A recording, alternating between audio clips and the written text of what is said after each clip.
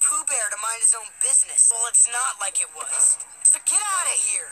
And if you say a word to Mom or Dad, Ow, you're hurting me. I think I've listened to you long enough.